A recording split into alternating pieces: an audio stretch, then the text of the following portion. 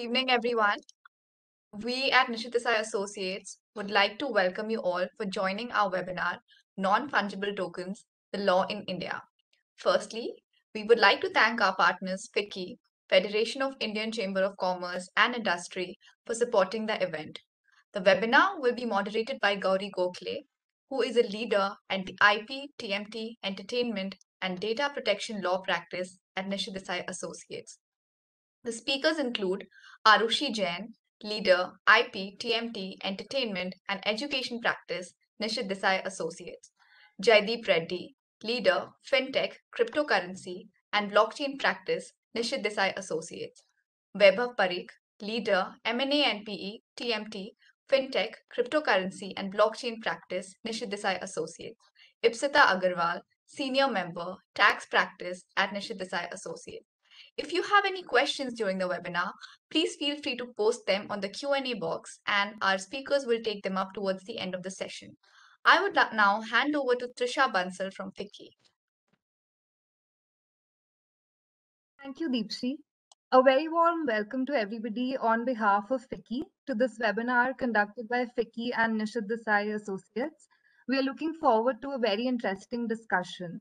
I will now hand over to Gauri Gokhale, who will be moderating the session. Thank you, Trisha, and warm evening for to all of you. Though in Mumbai, surprisingly, it's quite cold. Uh, let me start with one, you know, quick anecdote. This happened, you know, way back in 2013 or so. Uh, when Nishith Desai Associates as a firm, uh, we are quite research focused firm and you can see our research center in the background there. So as a part of our research, we started focusing on blockchain, cryptocurrency, uh, all the issues involved in, in relation to that. And I remember, and Vaibhav will also remember, I, you know, used to have these debates with Vaibhav as to, is this technology for real? Is this, uh, you know, cryptocurrency that we have been talking about? Is it technology for sake of technology or is there something more? What are its applications? And interestingly, you know, so many years, eight years thereafter, we can see such a sort of wide range of applications that we can see of cryptocurrency and NFT being one of them.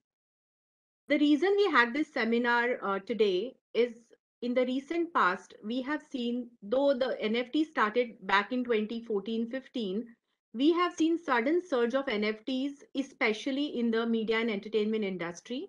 And we started getting, getting several queries in relation to the same as always, we always want to share knowledge. So this is a part of our knowledge sharing.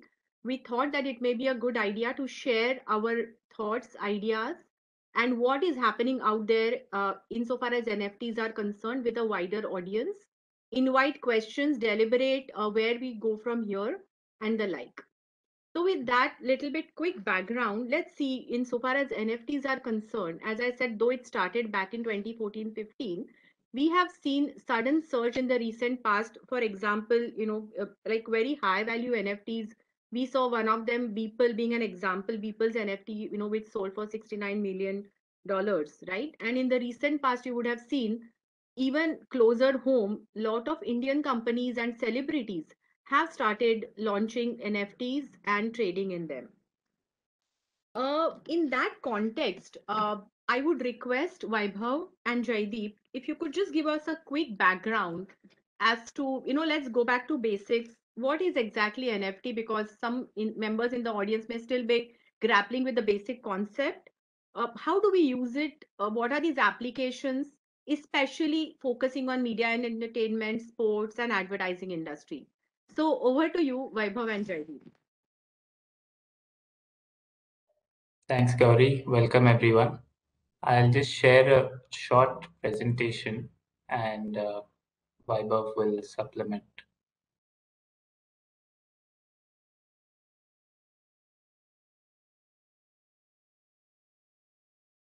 Yeah, I just thought it'll be interesting to pick up the most valuable NFTs over the last 24 hours. As you can see, there's nothing more to them than these, or maybe there is. We'll get into the the nuances. Uh, you can see here the highest value one is uh, has been sold for 85 ether or $329,000. Uh, these are part of a series called the Bored Ape Yacht Club, which is uh, gathering steam in pop culture. Uh, you can see here that Eminem, Jimmy Fallon, Stephen Curry, uh, Post Malone, famous figures in, in pop culture are now buying these NFTs and kind of using them as gateway to an exclusive club, and that in turn drives the value higher. Uh, also, just in terms of where the market uh, has uh, is gone from where it was, you can see, and and this is calibrated in billions of dollars with a B. Uh, OpenSea monthly volume, which was uh, obviously close to zero some years ago, and now it crossed 4 billion uh, in the previous month.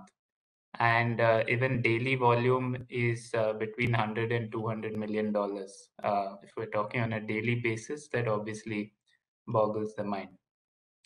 Uh, so just in terms of what an NF NFT is, as Gauri said, I'm sure the audience has different levels of familiarity, but just to set a common ground, uh, it can represent ownership of a unique uh, item. It may be a digital item or a physical item. You can think of it as uh, a piece of uh, a code on on blockchain, uh, maybe a PDF on the blockchain. Now, what is a PDF? I was just discussing with a colleague because when people say what is an NFT or what is uh, how should it be treated, you can also think of what is a PDF. It depends what's in the PDF, uh, right? So even in an NFT, it depends whether it's an it represents an image or it represents music or it represents something else. Uh, but it's essentially a non-fungible token, as uh, the abbreviation goes, where each token is unique, as opposed to say each dollar or each uh, Bitcoin, where one is interchangeable for the other and we'll go along with uh, some use cases uh, as we as we progress. Uh, these are some of the defining features uh, where people often ask why so much money is being paid, and some of us may not understand why so, so much money is being paid. A lot of it is is just people experimenting with the technology. Uh, we'll we'll see some of these use cases uh, in the next few minutes as I walk through the uh, use cases. I'm sorry, we'll see some of these attributes in the use cases. So just coming back to this, right, this Bored Ape Yacht Club NFT, I thought we can just pick it apart a little bit as to what is really going on here. Uh, these are sold on a platform called OpenSea, where I'd shown you the volumes earlier. Uh, just to go to the details of this uh, particular item, you can see there's a contract address there. Uh, it's been abbreviated, but it's a long string of numbers, which is basically a blockchain address. You can think of a blockchain address as kind of like an email address. Um, and there is a token ID, the token standard. So ERC 721 is a type of technological standard on which NFTs are written. Uh, this is on the Ethereum blockchain. There are many other blockchains which can be used for NFTs. And the metadata is frozen in time. Now let's come to what the metadata actually is. So when you go and click the metadata, you see uh, some of the attributes linked to this NFT, which are stored permanently on the blockchain. You can see that image attribute is linked to a particular IPFS link. IPFS is now one of the decentralized file storage uh, services used. Uh, it's kind of like Dropbox or Google Drive, but a decentralized version of it. So what people are doing for NFTs is they simply create an IPFS link to a particular piece of content and encode it within the NFT so that the blockchain doesn't get the heavy image or heavy sound file and it doesn't become unwieldy on the blockchain. So when you put this unique link uh, onto your browser, you get that particular image. And that, of course, drives discussion as to um, if somebody owns an NFT with this image encoded, why don't they just download the image and save it and look at it whenever they want and that's a whole different debate and i'm sure we can we can grapple with that as we go along this webinar and and going forward as well. But uh, NFTs do have some unique attributes which JPEG files don't. Um, for instance, they allow you to receive royalty on future sales of uh, the particular item. Uh, they also allow something called unlockable content, where only the owner of the NFT may be able to see that. A good example, and I was just browsing through some use cases, is that um, many times DJs and uh, professional musicians need the lossless or highest quality audio file of a particular song. Uh, if they own the NFT, they they may have access to it while no one else uh, would have access to it. So you can kind of lock out people who don't have uh, access to that NFT, thereby kind of creating higher value in an NFT. Another example is for a graphic designer. You can store the high res file in the NFT so that only the purchaser can use the high res file. Everyone else can just download a low res JPEG and it won't be of much use. Uh, just a quick scan through of how to create an NFT. It's a pretty simple experience on the mainstream platforms like OpenSea. You enter the name, a link, a description, you upload an image or a sound file, um, and you you you choose how many you want in terms of the supply field here. You can make one or you can make many. You choose the blockchain um, and you choose some metadata, and it's kind of like listing a product on Amazon or any other marketplace. It's they've made it quite simple. Uh, just going on to some some big uh, industry announcements. Uh, Twitter announced profile pictures uh, as NFTs, where uh, a profile picture can be linked to a public key address on the blockchain, uh, which would kind of show authenticity to a particular image. Uh, there is a new platform called Royal where uh, leading artists can actually uh, sell rights to their music. So fans can purchase rights in a song, and every time that song gets streamed on the on on streaming platforms, fans actually earn royalties from the music. Uh, you have popular use cases like NBA Top Shot, where they sell you uh, pieces of NBA history or highlights uh, for for a particular price, and then it becomes a collectible item that um, owners seek to to have.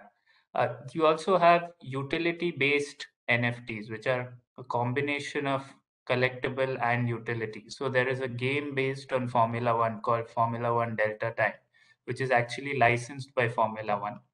And what happens is you can buy these parts, whether it's brakes or helmet or anything else.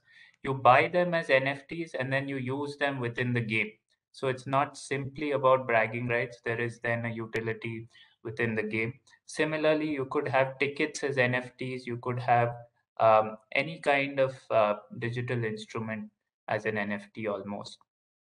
Uh, and finally, we're, we're seeing now mainstream players like MasterCard um, integrating into the ecosystem. Because one important point is in order to own an NFT, you need to have a crypto wallet. Uh, because NFTs reside in a crypto wallet, they reside along with other uh, crypto tokens that you may have.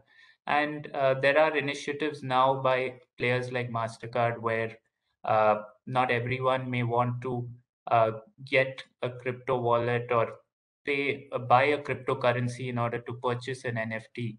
So they're trying to integrate uh, the the fiat currency payment modes uh, to enable easier purchases of um, NFTs.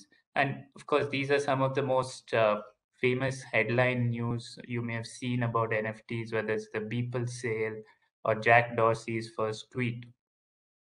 Uh, and of course, uh, since we're a law firm, we have to tell you that there may be disputes around NFTs. Uh, there are already the first few disputes where uh, a particular uh, fashion brand has found that uh, its its trademark bags were being used in an NFT, there is obviously the artist says it's creative expression, so it's not uh, an appropriation of that trademark. Uh, similarly, Quentin Tarantino had had used certain excerpts um, of film content uh, where the production house felt it's actually their right. So uh, this kind of leads us to um, obvious legal questions about how the contractual rights should be ascribed or what rights actually underlie an NFT. Uh, so with that, I'll just hand it over to Vaibhav to add a few points before we move on to others. I hope you guys can hear me. I think uh, very well explained uh, uh, NFT, how it works, some of the use cases. I will just add first uh, NFT, while it can be used anywhere, uh, you know, in any field, there are few fields which are what you call uh, low hanging fruits, right? Which is that's where you will find a lot of uses. That's where you will you will see uh, NFTs being used uh, substantially. It already started with art and paintings. You will see it in music. Uh, you will see it in films. Uh, you will see in sporting uh, sporting activities. You will see it in gaming I think these are the area, these are the industries where NFTs will will really pick up very fast. Uh, then it will actually go into uh, other areas like, for example, in metaverse, what uh, what is going to come in. NFTs will play a very critical, very important role. Uh, also, tourism, NFT will play a very important role. Uh, just as an example, in metaverse, what we are likely to be already seeing currently is a lot of what they call real estate, virtual real estate as an NFT, which is being used. Uh, so somebody has in a metaverse already created, let's say, a Taj Mahal, and uh, the Taj Mahal actually is owned by someone in a metaverse in a particular metaverse because there may be more than one metaverse. So each each of that will have a different uh, real virtual real estate, and then you you create it, and in that particular metaverse you own it, and then you can sell it off. Uh, so any major landmarks, now whether that will create legal issues or not uh, is, is going to be a question uh, in future which we will deal with. But that's where uh, you have uh, metaverse where all different NFTs are there. Taj Mahal I last read was being sold for three thousand dollars. you know, you can buy Taj Mahal for three thousand dollars. Um, similarly, you have all different, you know, major landmark areas where which are being created and kept in a metaverse. Uh, tourism. Tourism is the other area where things are really going to go because once the metaverse comes up, there'll be a lot of uh, places where people want to visit virtually and they really cannot go. And you know, often with current situation, current pandemic, where travel become restricted, you will see emergence of virtual tourism. And that's where the nfts will become very important because that's where all this virtual real estate will start uh, uh, uh, getting into details using nfts to to basically uh, show the authenticity of that particular uh, you know uh, the area which you are visiting. Nfts can be basically a picture file with a with a image link you know it's like a like a poster, authenticated poster or autograph poster kind of a thing, right? Whether it is of Sachin Tendulkar, whether it is of Shah Khan, whether it is a particular video clip, whether it is a music uh, clip, etc. But from that basic NFTs, it can also become virtual NFTs. Now, as Jaideep had mentioned, right, NFTs are nothing but similar to they're basically a cryptocurrency, but instead of having same multiple fungible cryptocurrencies, number of cryptocurrencies, it is limited cryptocurrency. It can be limited to one, which means makes it the unique crypto, uh, the NFTs, or it can be more than one, but it will generally limited in nature, right? Uh, it depends on how many you want to create. But you can now make it a functional cryptocurrencies, where we are really seeing uh, interesting use cases. Also, you know, some are already coming up, some will come up in future uh, but these are all discussion uh, uh, cases. for example, you go to a concert or you go to a sporting event and your ticket will be an NFT, which means you go and attend a particular VIP seat using that particular NFT. And once that sporting event is over, then the NFT becomes non-functional and then becomes static, which shows that uh, which shows that you are the original holder of a particular uh, uh, VIP ticket of a World Cup event, right?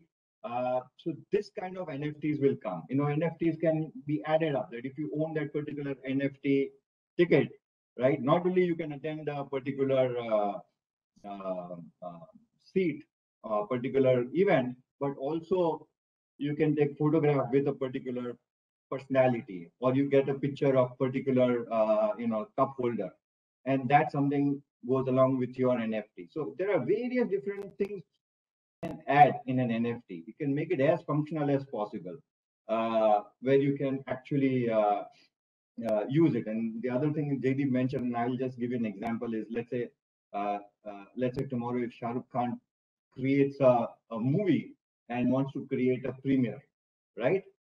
For select people. Now, typically, when you look at premiere, you will have a theater, and you know people who who have, who have been invited can go and and uh, watch the premiere movie along with Shah Rukh Khan, right? Uh, on virtual thing, those people who own that NFT can watch that premiere movie and nobody else. And that premiere movie can be for one show, can be one day, can be one week, where only those people who have the NFT can watch before it is public release, released.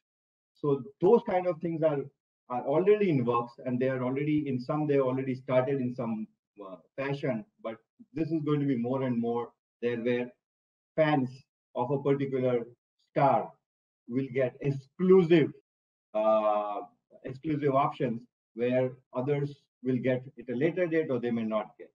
Similarly, as I mentioned, a lot of people are looking at, and again, the best part of NFT is that when you when when let's say I'm I have created an NFT, when I sell it to someone, obviously I get money.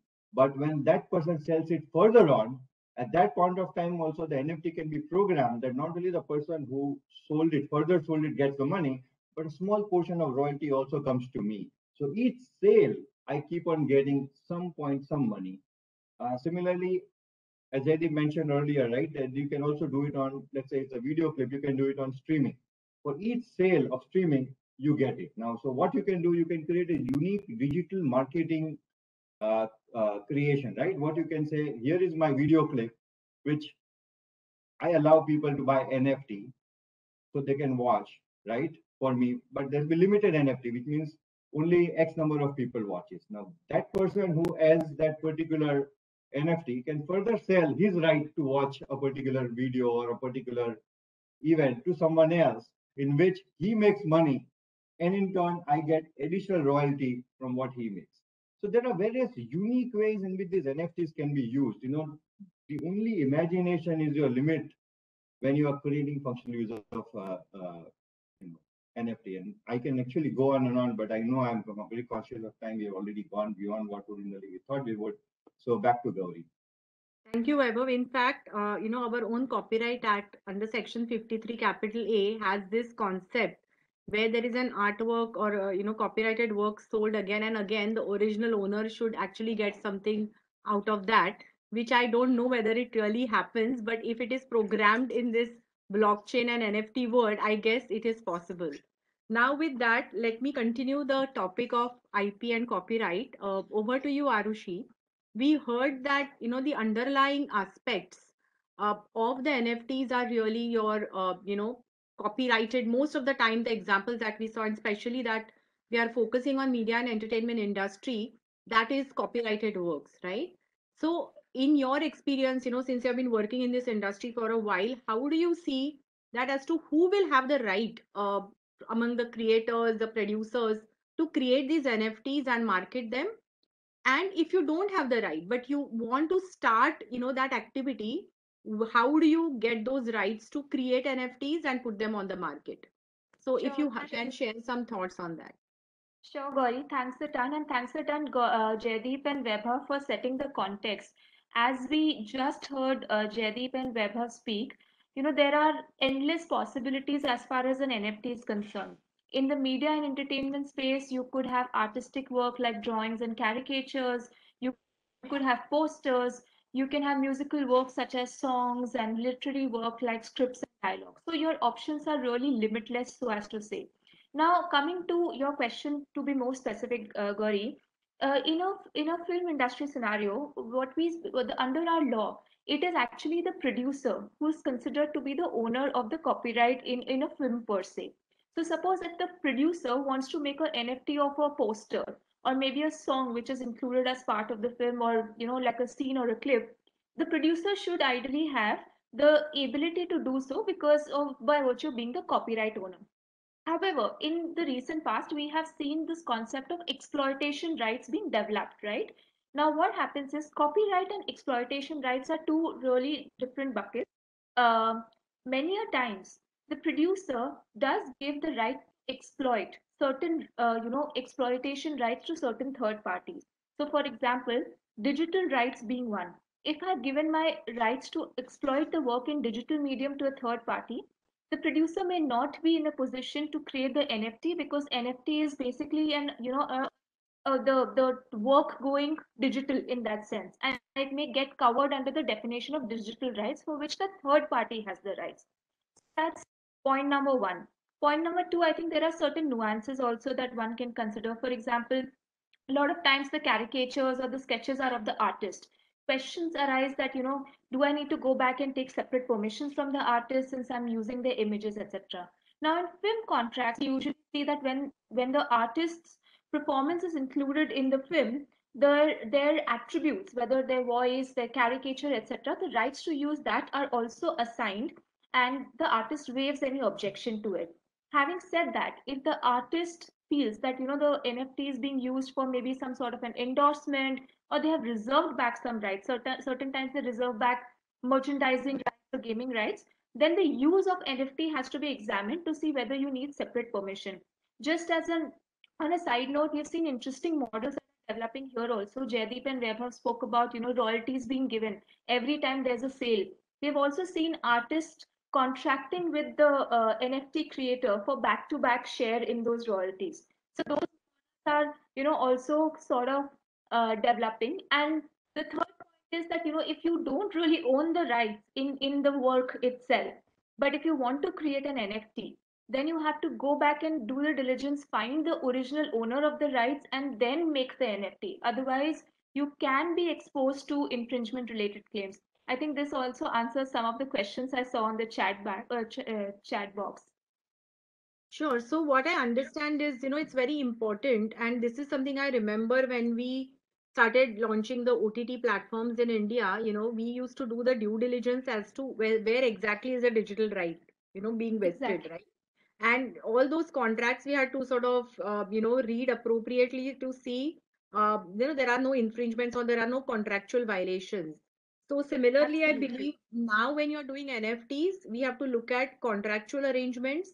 Where are the rights? Whether there are reserve rights, how the individual's rights, uh, you know, if there is a clip where only one individual is being used uh, how will that pan out vis-a-vis that artist contract or the musical rights and in india musical rights is another you know ball game altogether so obviously the the short point what i understand and take away is a due diligence of all the contractual and legal provisions is an absolute must before we get into the actual launch of that particular nft uh, I think um, I think you also you know Jaideep also mentioned and maybe you can just throw some light on this model where uh, you know obviously uh, just to clarify uh, you know when we uh, when we are talking about NFTs and I'm buyer of the NFT I obviously don't get the right of an underlying work unless there is a spe special provision for that or otherwise but I heard Jaideep mention some model where you can have an economic right vis-a-vis -vis the work so could you just expand yeah. a little bit on that and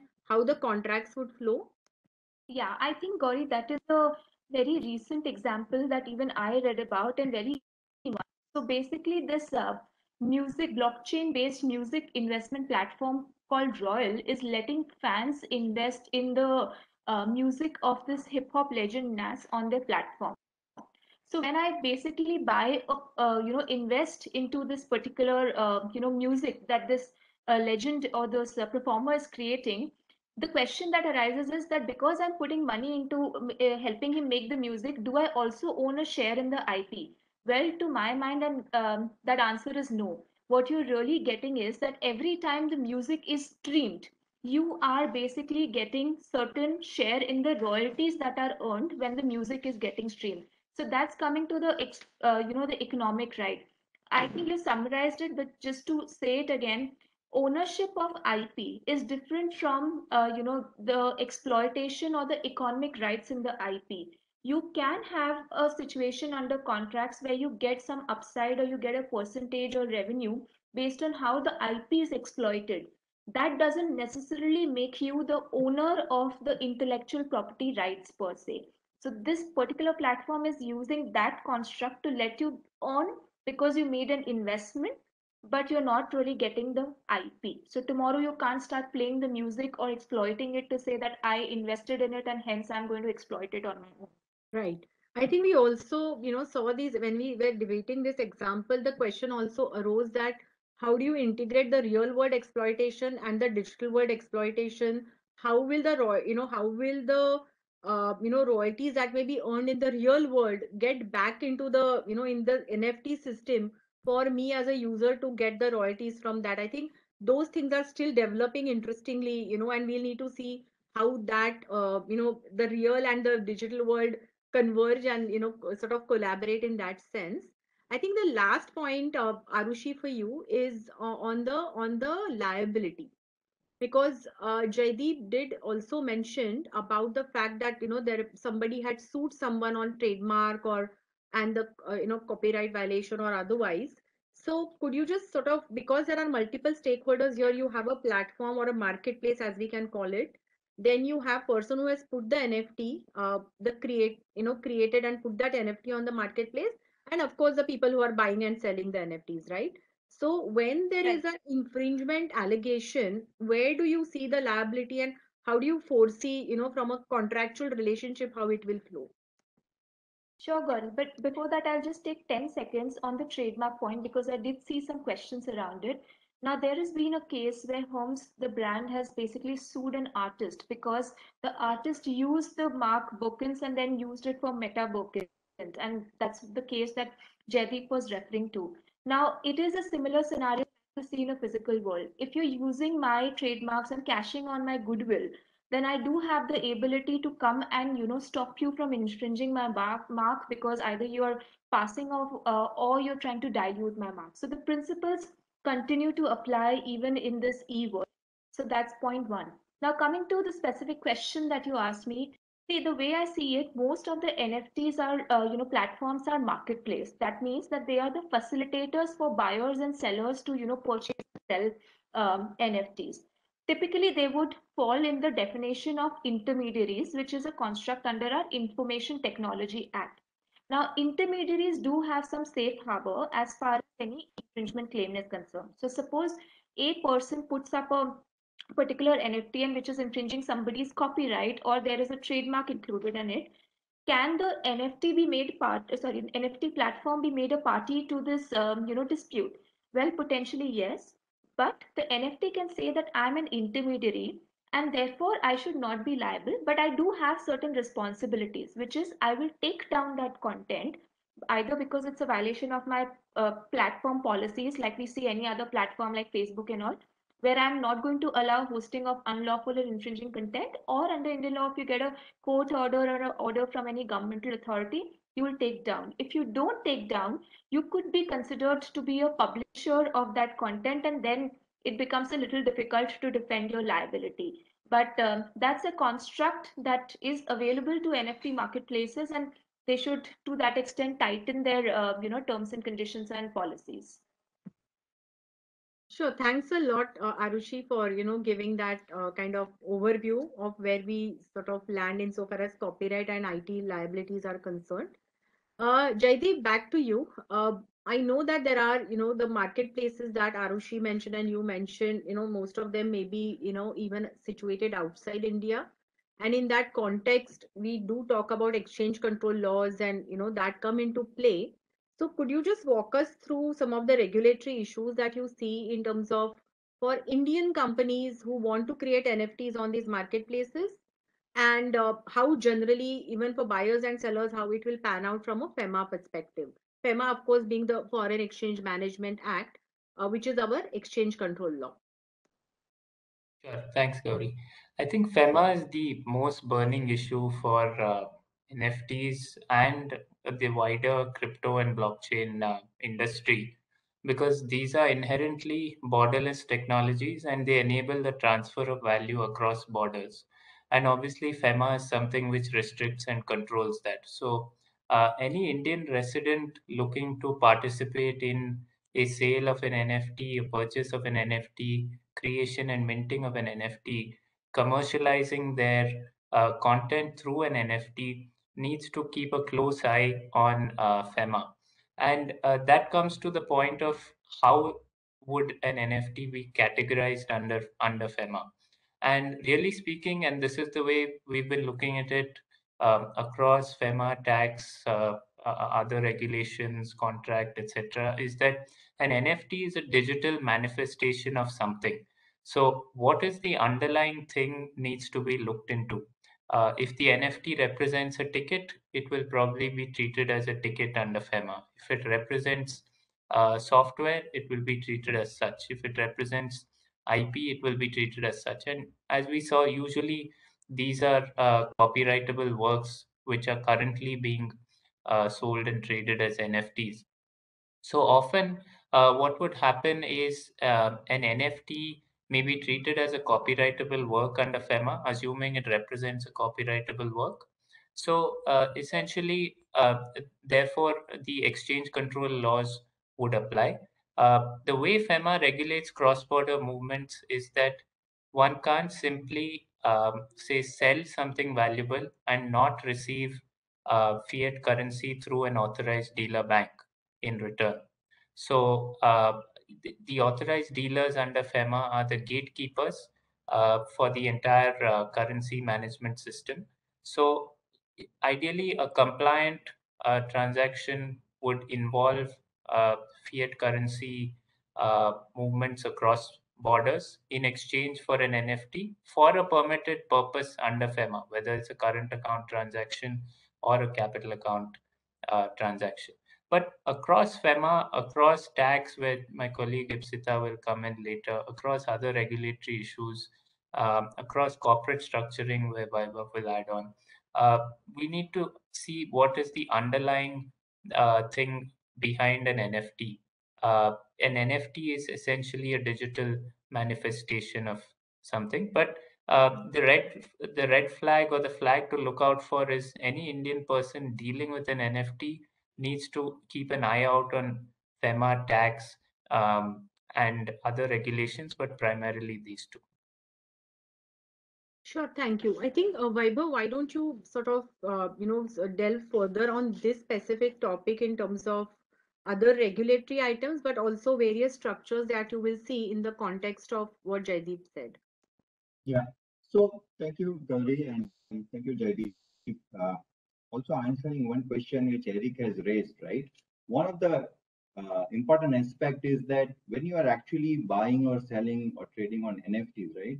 You use the tokens, either the Ethereum token if you are on the Ethereum network or whichever token is used on the particular network to buy or receive when you sell NFT, right? So you need, so on one side you have a your you have a wallet where you transfer the NFT to somebody else.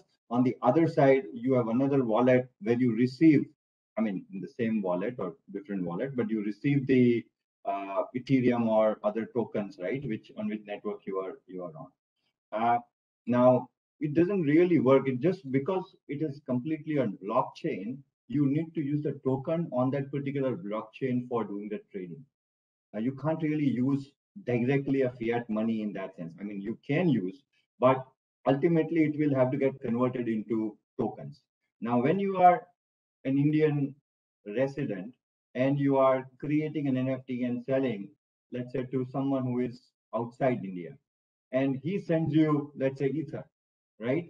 Now, as JT was saying under FEMA, we have a regulation that if you are if you are selling an NFT, like an exporting of a particular copyrighted, uh, let's say, article, then under FEMA, you have, a, you, you have a law which says that when you sell within 90 days, you need to receive uh, money for it will be export of goods and commodities, and you will you need to receive money in fiat currency in foreign exchange to authorize banking dealer, right? Banking channels.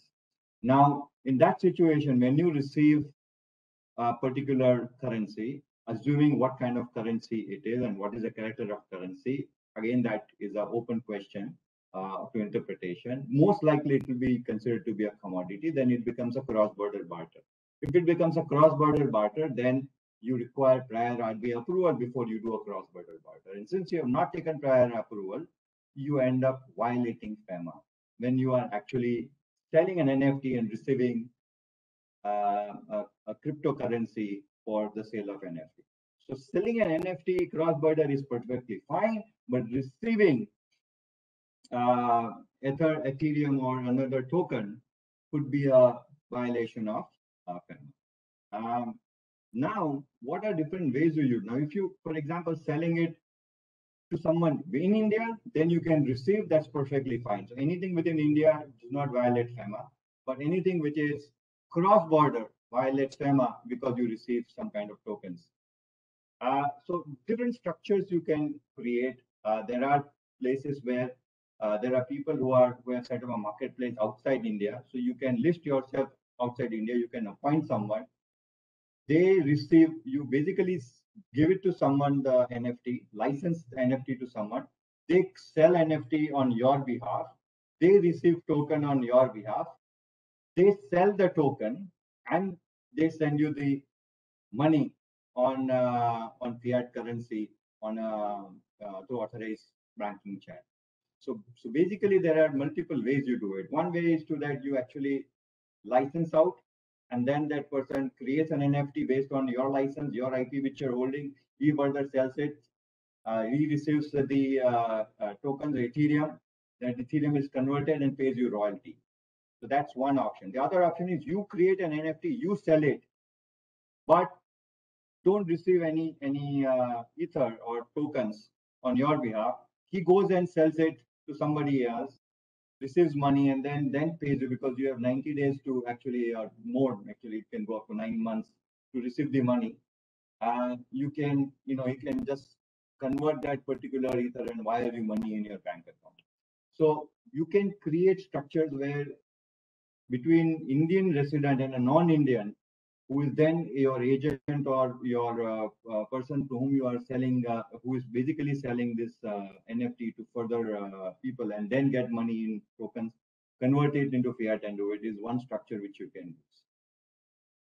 Yeah, thanks, Vaibhav. I really hope you know that the government uh, doesn't ban the entire crypto space. There have been discussions uh, in the past but i think now they are getting into the mode of you know creating some hopefully some ecosystem where you know this entire uh, journey can continue. But let's uh, let's not crystal uh, ball gaze right now. We'll wait and watch. Uh, but since you mentioned you know there will be funds received and obviously there will be income because you will sell nfts at a price maybe higher than what you have purchased uh, it for right? So obviously there is going to be income wherever there is income, there is a taxman standing there.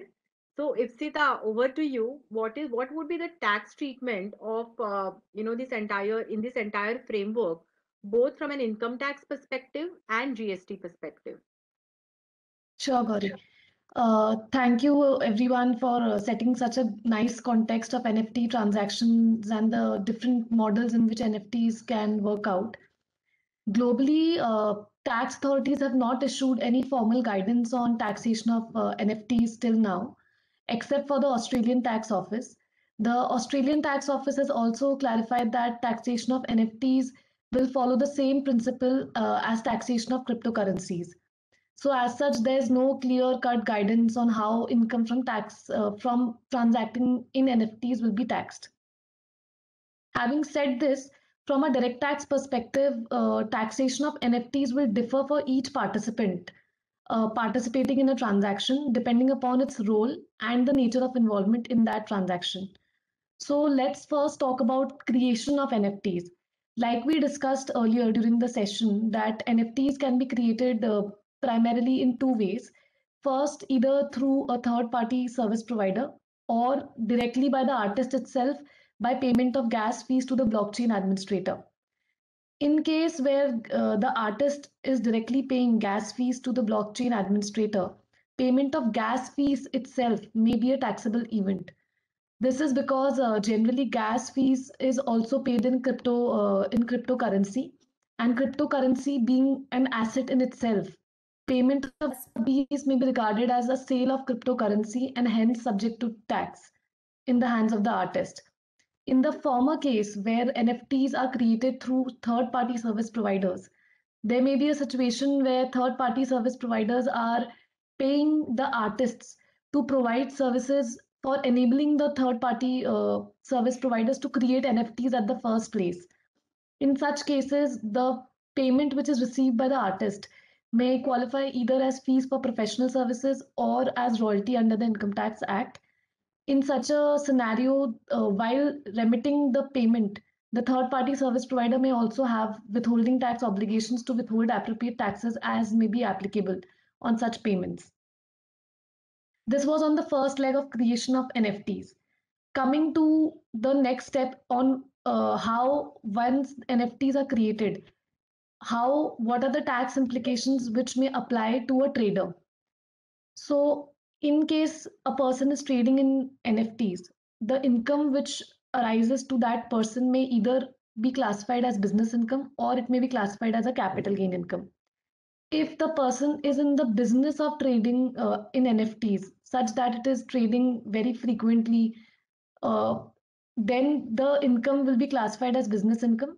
The income will be computed by giving effect to the expenses which the person incurs uh, while earning such income. In case where the activity, uh, where the person who's in, transacting in NFTs is not in the business, and it is and it is doing as a one one-off activity or as a hobby, the income which may arise from such a transaction may be classified as capital gain income. In either case, uh, the income will be taxable in the hands of the trader. Another thing which traders should keep in mind uh, while transacting in NFTs is that the tax the tax uh, implication may arise both in case of uh, buying uh, NFTs as well as in case of selling NFTs uh, why will there be a tax implication when one when a person is buying NFT? Because uh, like we discussed earlier in the session, typically NFTs are bought through cryptocurrencies, through these tokens. So since since cryptocurrency is also an asset, such transactions uh, are likely to be considered as a simultaneous sale of crypto and purchase of NFTs. Therefore, even on buying of NFTs, there may be a tax incidence which the buyer should be wary of. Coming to the third uh, important participant in, a, in, in an NFT transaction, which is the NFT marketplace itself. Uh, for example, OpenSea, the, the, the platform which Jaideep was uh, showcasing earlier, there are a couple of income tax issues which may arise for an NFT marketplace. First being application of equalization levy. Like we discussed nft marketplace is uh, typically uh, will typically facilitate buying and selling of nfts between traders. Given the very given the wide definition of e-commerce operator under the finance act it is likely that equalization levy at the rate of 2% may be applicable on the transactions taking place on the nft marketplace platform however this gives this also gives rise to a few complications like uh, given that the consideration in the NFT transaction does not flow through the marketplace itself and it flows directly between the buyer and seller because the smart contract is uh, formulated in such a manner, the NFT marketplace actually has no access over the sale consideration. So for the NFT marketplace to bear a 2% levy on on an amount which is which it is not receiving, it is likely to create some cash flow issues and will likely to create problems for the NFT marketplace. Another important uh, point uh, while uh, determining the applicability of equalization levy on NFT marketplaces is the tax base. Like we discussed earlier, uh, typically when NFTs are created, gas fees is paid to blockchain administrators. One issue also may arise as to whether this gas fees will be included in the tax base while computing the equalization levy uh, liability. Thirdly, another important thing which might be a roadblock for NFT marketplace is that how will the NFT marketplace determine uh, the applicability of EL? Practically, how will the NFT marketplace know whether the person who's trading on its platform is a person resident in India, or will it or will it have to track the IP address of each and every uh, trader which is uh, which is uh, transacting on its platform? And like we saw earlier, given the high, very high volumes of transactions, it's not very clear on how practical uh, such a approach may be. So this was one one issue on equalization levy, which may apply on NFT marketplace. The second very important issue which NFT marketplaces should be uh, aware of is the withholding under section 194O. So under section 194O, an e-commerce operator is liable to withhold tax at the rate of 1% on uh, on uh, facilitation of sale of uh, goods of a resident seller so in such a case as well, since NFT market platforms, marketplaces also facilitate sale of NFTs and sale of NF the NFTs may also be owned by resident Indians, there may be a liability of withholding on the NFT marketplace.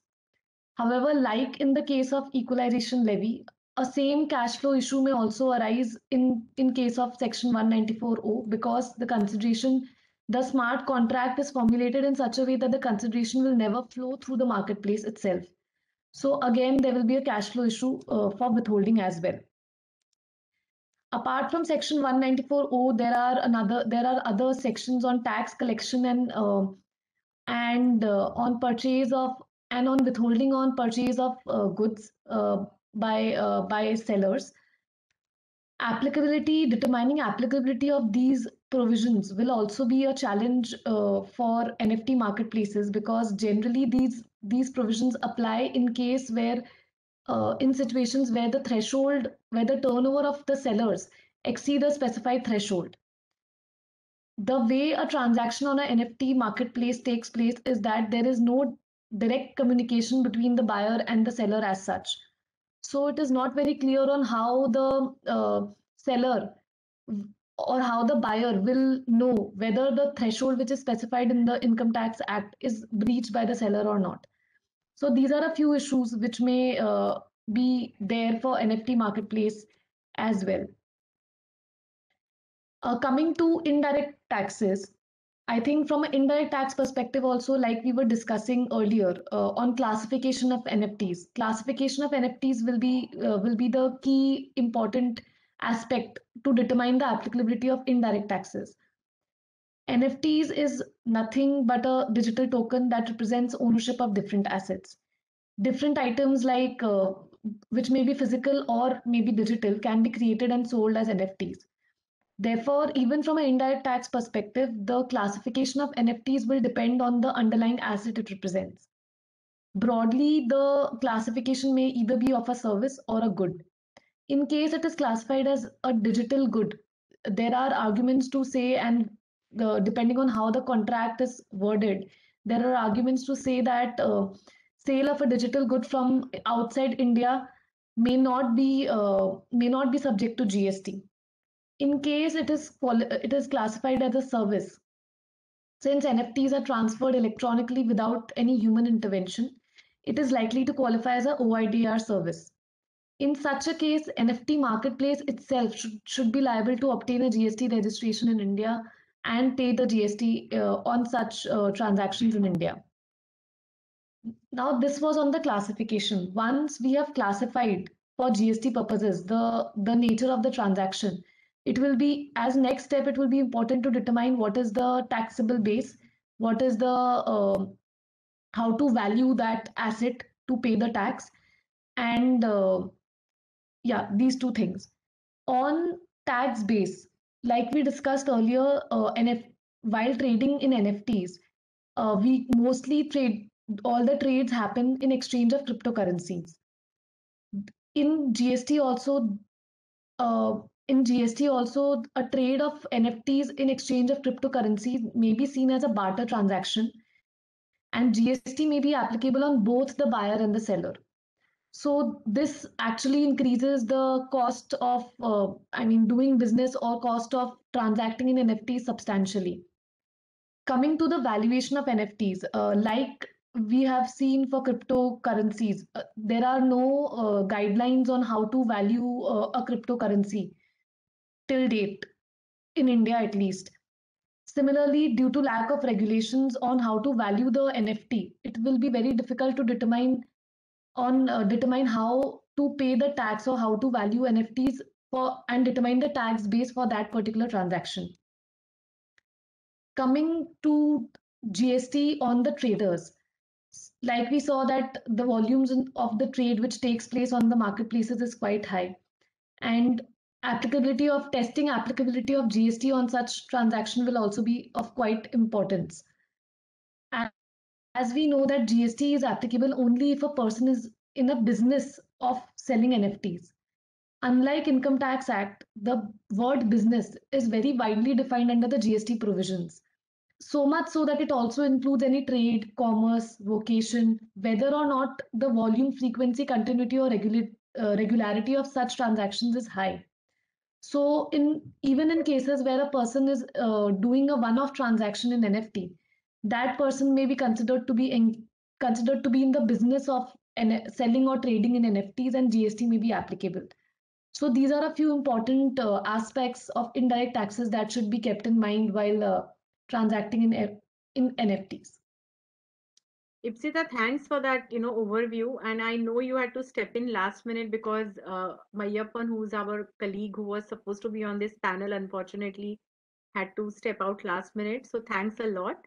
And thanks for that excellent overview. I'm sure the audience has at least taken some points back in terms of, uh, you know, how the taxability of these entire transactions will work out. Though I don't think they have the clear answers. As you can see, there are gaps available, you know, still out there but at least they know where the exposure is.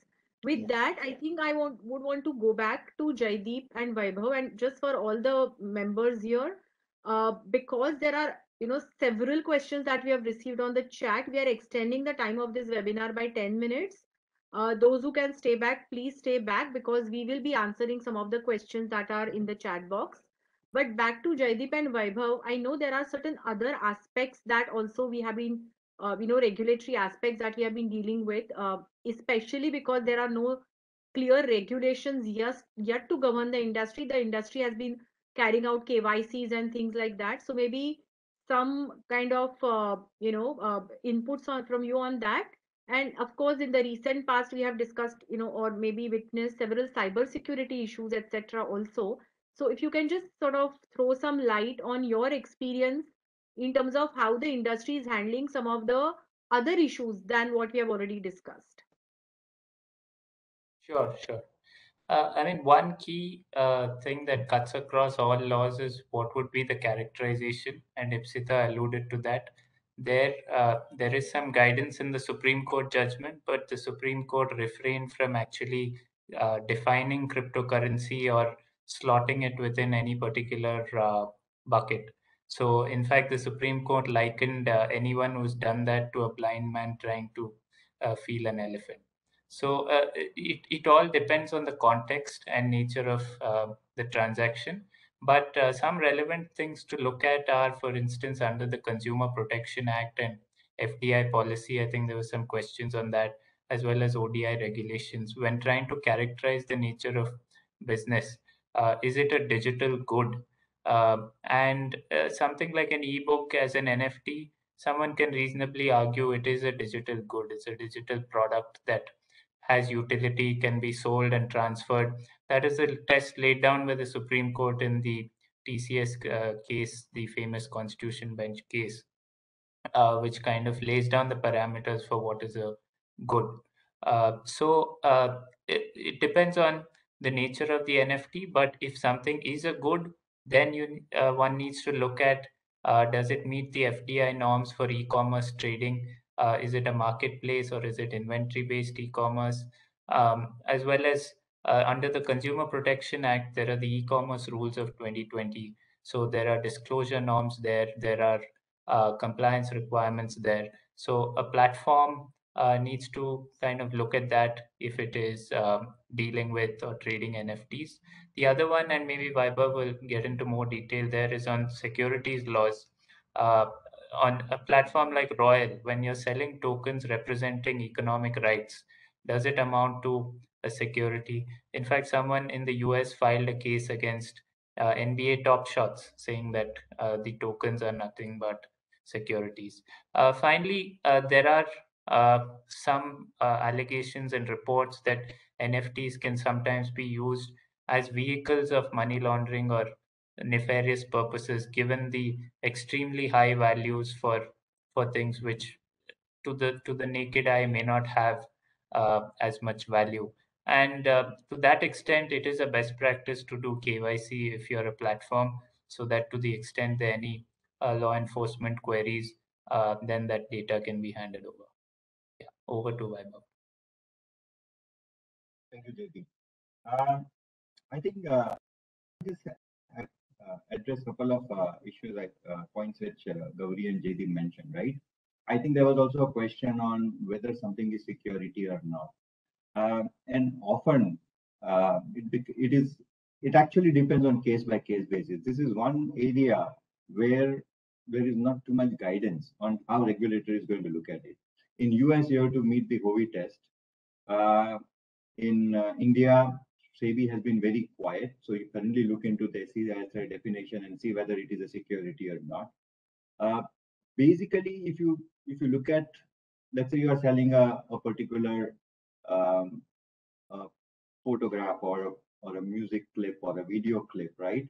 And you are getting a particular royalty for it. It is unlikely to be a security, even though if somebody who is buying it is further selling it, it and you have a right to achieve some portion of royalty, it is unlikely to be a, a security. Uh, but moment it becomes complicated, and you know what JD was saying, the first case which has come in actually is a situation where uh, one of the party who is selling is has a ownership right in a particular music and he's selling his ownership right to someone else right and the then the argument is that look if he's selling his ownership right then that ownership right is like shares and he's selling his token so he's selling his security so it should be it should be considered to be a security and he needs to meet with all the security related things right so it really depends on how things are structured. Again, uh, we don't know how the cases, uh, uh, you know, how, how the court is going to look at it. Currently is at interim injunction. Uh, they are going to read, the, I mean, the court is going to look at the cases later on. Uh, so we'll know how the law develops in the US. But, you know, in India and in other parts of the world, we will we will have to see each case by case basis, right? I mean, if if if the nature of what right or a token which is being sold is going to be in nature of shares or similar, then it is most likely to be security. Uh, otherwise, if it is just pure copyrighted thing, the basic thing what one is doing, it will it is unlikely to be security. That's the that's the information which I feel right now uh, we have. But anything further will either law will develop or we need to go deeper and look at each case case you know separately. Secondly, I would just want to address what Gauri talked about on on uh, hacking aspect. Now, this is this is important because what we have seen is that while some of this are are uh, are uh, you know all the cryptocurrencies and everything is subject to hack. While these are typically something where if it belongs to me, you know, I can't nobody can take it away from me because the whole blockchain has record that I put I own that particular piece of token, right?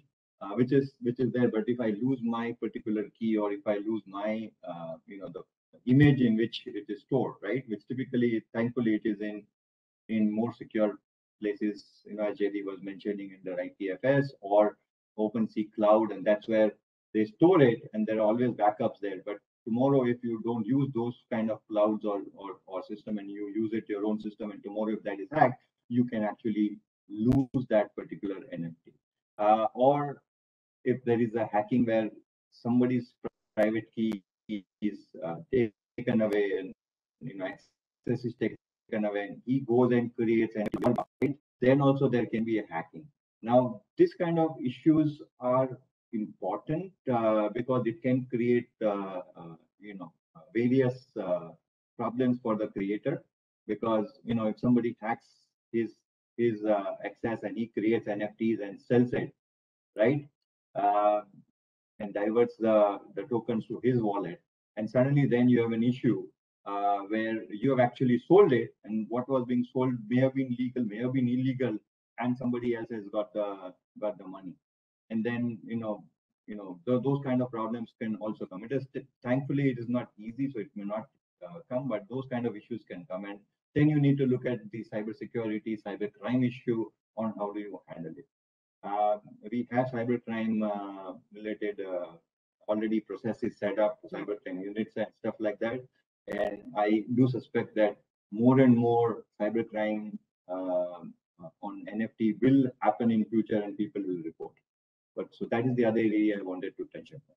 Over to you, Gauri. Thanks a lot. Uh, I know we are slightly above time. I know that our members have already responded to some of the questions as we were into the session. Uh, I'm requesting Mr. Narang. I know he had a couple of questions. Maybe at this time, if you can direct it to the panel members. Uh, in the meantime, others can keep responding in the chat box and then we'll take a few questions. Over to you, Mr. Narang. Uh, thank you very much, Gauri. First, I must say that this has been an excellent session. Each one of your partner speakers have been superb. Now, I have a. I just need to validate a statement we have created probably India's largest, we're creating, we have actually ready India's largest NFT platform with tokens, with avatars and getting into metaverse. And I have been in the past two weeks advised that this company should not be based in India. It should be based outside India. Uh, now, I just want Jaideep, what I am hearing from this conversation is that currently, since laws are not very clear, and of course, as Vaibhav would agree, that the valuation is in the tokens, not really, I mean, the tokens are eventually will be valued much more than the company. Then it is probably better to have this uh, company situated in uh, a country like Singapore or perhaps Dubai if they permit it. Uh, uh really, and if Indians want to invest, then I, I guess they will have to in, buy the uh, NFTs through the LRS scheme and as other panelists have uh, said, pay the necessary taxes, etc., whatever the case may be. And most of these NFT agreements we have are with large Indian companies uh, who want to tokenize their be music or art or design or anything else. So I just want to validate uh, my thought process uh, with Jaideep and Vaibhav, maybe just 30 seconds so that you can ask some more questions. Sure. Thank you, Mr. Narang. It's a very pertinent question for any uh, IP owner in India. And um, I think that advice is generally right. Uh, a foreign entity dealing with the NFT and crypto would generally be a safer bet uh, because one, it avoids the policy uncertainty as well as the regulatory uncertainty in India, with uh, India only getting the economic benefit. So, for instance, the IP could be licensed, as Vaibhav mentioned, to a foreign entity. That foreign entity can create a crypto wallet, mint the NFT, receive the sale proceeds, and then downstream the royalties minus a small commission uh, into an Indian entity. And that downstreaming can happen through an AD bank for a permitted purpose uh, in fiat currency. So I think broadly what you said is on the right lines add also uh, from uh, what Jaideep said, right? Um, what is what is also important is that since we talked about FEMA and from FEMA perspective, if you most of your buyers are outside India or they're cross borders, right? Then having it outside India actually allows you to comply with certain regulations, which I, which Jaideep and I just talked about. So from that perspective, going outside is easier. Secondly, also because in certain jurisdictions you can get a license, right? So it makes it more authenticate and it makes it more uh, uh, legal in that sense that you have an ability to operate in that particular ju jurisdiction. So it gives you a lot more credibility. So, for example, I understand Dubai Dubai government has started giving license to you. So you know, so to the exchanges. So when they when you set up an exchange there and you sell it there, then then that at least gives a lot more credibility to the person who is operating is licensed under that particular law. So those kind of things also available outside India. So I would also agree that setting up outside India maybe is easier, uh, better, but there are issues there, right? So for example, if the buyer is Indian resident, then doing a cross border by by Indian buyer to to Singapore or Dubai company and then back to India can have questions you need to look into it. Jaideep and I talked about a manner in which you can avoid a FEMA issue from the seller perspective, but that doesn't stop the issue from a buyer perspective. The buyer is Indian. So when a buyer is actually buying from Singapore he, or Dubai company, then he, he has the same issue, which is a cross-border barter issue, which we talked about. But then that's a that's a buyer issue. They need to look at it separate. I just thought I will say that and stop here. Yeah, I think that's a 360 answer uh, for you, Mr. Narang. I hope at least that gives you some initial feedback. Uh, excellent. It's really been very ex uh, excellent session. I'm glad you extended it. I wish we had another half an hour, one hour, because there's so many questions. But over to you. I will mute myself. Thank you very much. Thank you. Uh, so there are some additional questions in the chat box. So if I think our team has already answered, I'm sorry, but you know, uh, we may be able to take a couple of more uh, uh, over to Arushi, Vaibhav, Ipsita, and Jaideep. Uh, but we we have noted the questions, uh, and we will you know individually write to people uh, where there are similar questions. We can club some of them. But uh, Vaibhav, Jaideep, and others, if you can just take up some questions, we we may have another four minutes or so.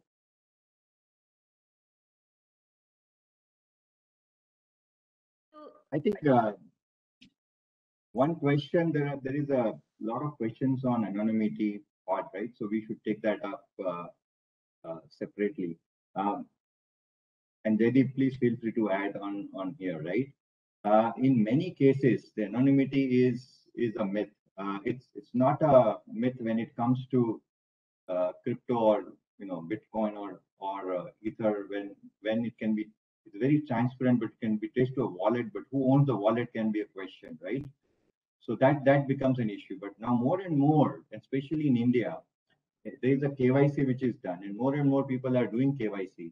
So because of that reason, you know, it is not easy to remain anonymous. It's not easy to to say that you know I don't know who the buyer is, so I'm going to go and you know I can't go and do anything about it. So there will be there will and and again for nfts for, for example if i am going to sell i can choose not to sell it to someone who is anonymous so so that kind of control also exists. So more and more i think uh, uh, the anonymity will become a thing of a past for nfts it may not be for for uh, uh cryptocurrencies but for uh, for nfts and maybe jaideep you want to add please add here.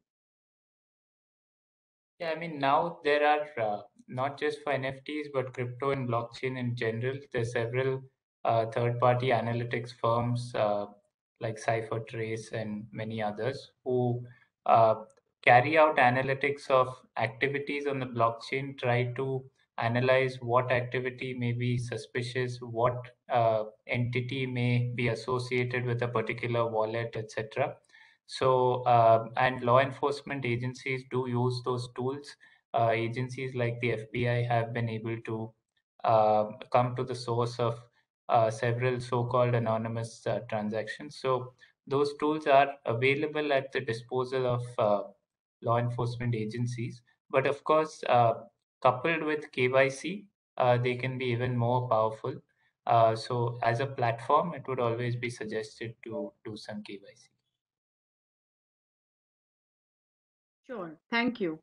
Uh, I am really sorry. Uh, you know, we had over thousand registrations, and we have about you know we had you know 500 plus participants within a short span of time. Uh, you know, sort of all of you have attended this. Uh, we appreciate your contribution and also the contribution to our thought process because your questions will make us think more in terms of what other issues that will arise at it's as it is a nascent and developing, uh, you know, sort of uh, uh, sector and overall, even from a regulatory, legal, tax, ethical, all the issues we have to consider holistically.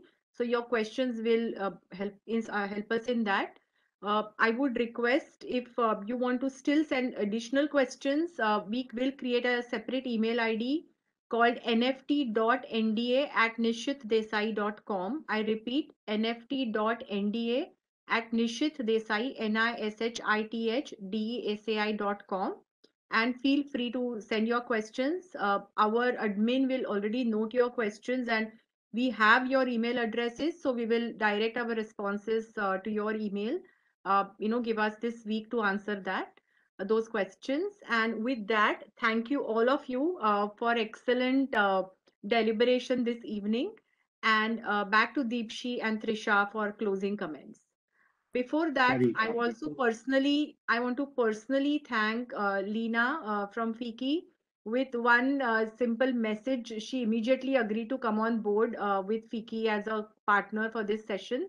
So personally, thank you for that. Uh, I'm sure FICCI and NDA can contribute a lot in the context for the media industry in this, you know, NFT uh, scheme of things.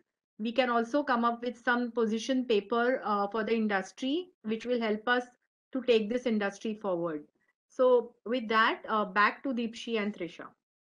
Thank you so much, Gauri. Uh, Deepshi, Deepshi, before you go, I just wanted to add one thing. We are actually writing a paper. Our paper is near final.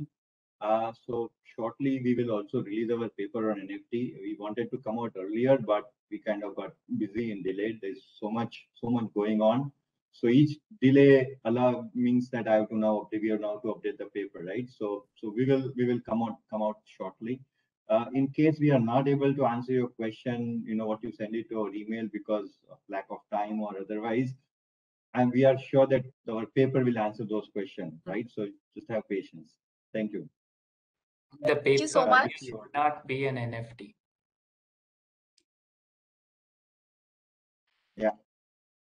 Thank you, speakers. Thank you, audience. I hope this was an insightful session. As mentioned by Gauri, do feel free to reach out on nft.nda. I have posted the email in the chat box for everyone. Uh, thank you once again to FICCI uh, for supporting us for this event. I now hand over to Trisha. Thanks, Deepshi. Uh, on behalf of FICCI, I would like to thank all the speakers for this very enriching discussion and the audience for taking out the time to attend our webinar. Uh, also, FICCI would love to collaborate with NDA for any future endeavors. Thank you.